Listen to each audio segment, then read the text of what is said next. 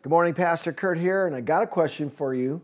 When you were growing up, who was the favorite in your family? Come on, be honest. Every family has a favorite. You don't know who the favorite was? You want to know why? Because you were probably the favorite, my friend. I know who the favorite was in my family. You know why? He always got a bigger piece of chocolate cake than me. My mom was incredible at making chocolate cake. She'd make one every Friday.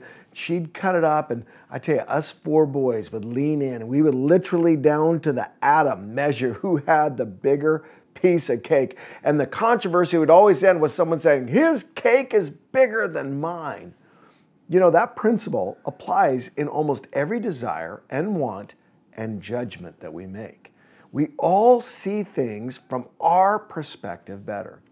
That's why Matthew chapter 7 is so important. It's an incredible chapter, so much content there, and it starts with this verse, and it's so powerful. Matthew 7 1 Do not judge, or you too will be judged. For in the same way you judge others, you will be judged. And with the measure you use, it will be measured to you. Now let's clear something up quickly. Jesus is not saying that you can't have convictions or make decisions or even say to people what you're doing is foolish. He's saying you have to do it with great empathy and fairness. If Jesus was saying never ever judge anything, he would be contradicting himself. Later in the chapter, he says, Watch out for false teachers. They're, they're like wolves dressed up in sheep. He's, he's calling for us to discern and judge. He's calling us to a different attitude and a different empathy as we do it. Here are the two rules for making any decision about someone else. Rule number one start with yourself.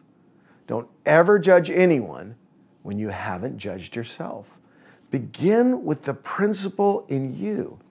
When I'm preaching, I see this all the time.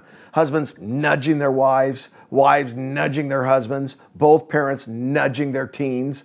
Start with you. Don't judge anyone else until you've applied the principle to your life. Rule number two come as a learner. Before you make a final decision on what someone's doing, ask them questions. Say, hey, I've been seeing some things in your life. Help me understand. Or how does this reconcile with your values? Or how can you and I work this out together? When you come and say, you're doing wrong, not only are you judging too quickly, you're backing them into a corner and making it impossible for them to see the truth.